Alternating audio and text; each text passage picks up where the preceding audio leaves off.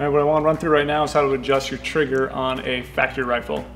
This is a Browning X-Bolt, um, Hell's Canyon Long Range McMillan, 301 mag, and most of the time when you get a new rifle in, factory, factory rifle triggers are usually around like three to five pounds.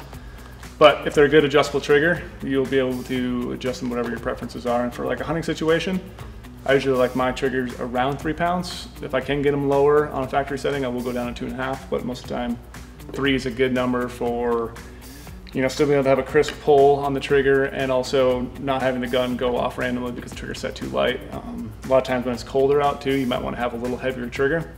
Um, there's something to keep in mind. Practice a lot, shoot, you can always adjust your trigger later and figure out what works best for you. So quickly walk through how I will adjust this trigger on this Browning gun. So um, first, like anything, goes without saying, make sure the gun is unloaded.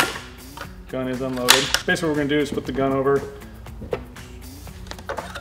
Now I'm just gonna take this bottom plate off and then we'll get out the trigger assembly. For this trigger, you have to take out the bottom plate and there's an adjustment screw down the bottom of it. So let's take the plate off here. All right, what I'm gonna do before I get any of that uh, trigger adjustment, I'm gonna show you what the factory setting was on this Browning gun. I'm just gonna hold it up here. It's ready to fire. And one of the best things you can get is one of these Lyman uh, trigger pull gauges. You think they're are amazing.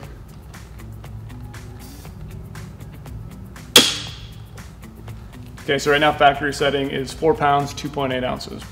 And thing to watch out for when you're doing this is when you're pulling the trigger, you don't want to let the gun pull backwards because obviously you're going to get an inaccurate reading. But four pounds, 2.8 ounces. I kind of want to lower that down to somewhere around three pounds.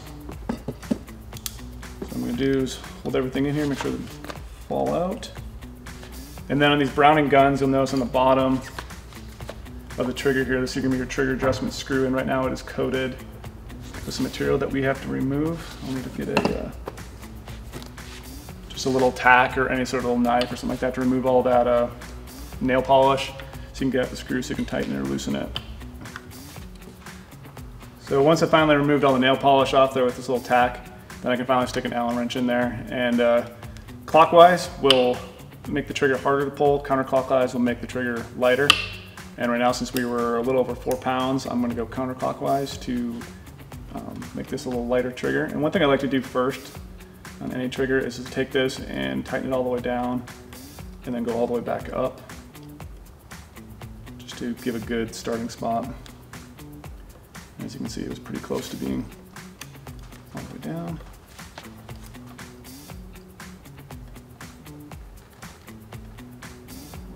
Okay, that's all the way bottomed out. Back up.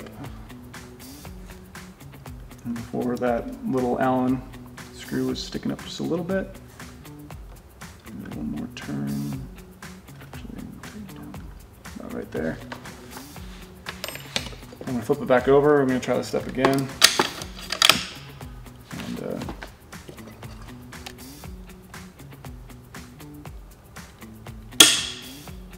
I, mean, I can't get better than that.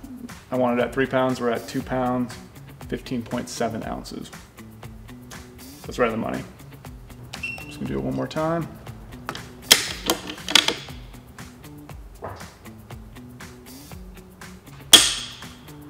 two pounds, 14 ounces. So we're gonna call that good. It's roughly two pounds, 15.7 ounces. The next part here, now we have that all set, I'm gonna flip the gun back over and take some of my wife's uh, nail polish until I stole it. And what I'm gonna do with this is basically just put it on the screw to make sure it can't move again. You could use Loctite on here, but I feel like I don't want to drop any Loctite, let seep down into the trigger mechanism. That's why I prefer to use a nail polish. So I'm just gonna take it and just coat it all over top of the screw. Kind of get on the sides, make sure you get on the threads. Kind of ample amounts right there. Keep it all in place. And it's a good idea to let it wait for a couple minutes, let it dry, just so you don't flip it over and have it start running everywhere inside your action and trigger mechanisms. Let that dry for a little bit and come right back at you. All right, now we just let the nail polish um, dry on top of that trigger adjustment screw. So now basically a simple process. We're gonna assemble everything again. Put the bottom plate back on, the rear, rear screw and front screw. And I'm just gonna get these slightly tightened and then I'm gonna torque them with the uh, fat wrench to uh, 45 inch pounds.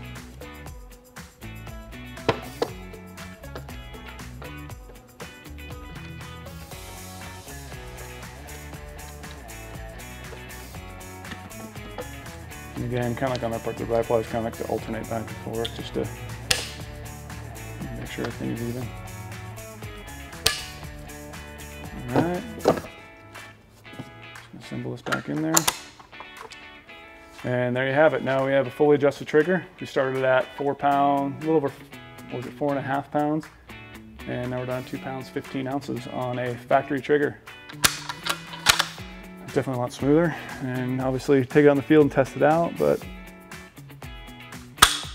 definitely feels a lot better. And I'm standing, so if I was prone, it would feel even more better. But quick and easy. You don't need a lot of tools for this setup, which is great. All you need is a, uh, you know, digital trigger pull gauge, a couple Allen wrenches, torque wrench, and you're good to go. So as always, we appreciate you guys checking out these videos.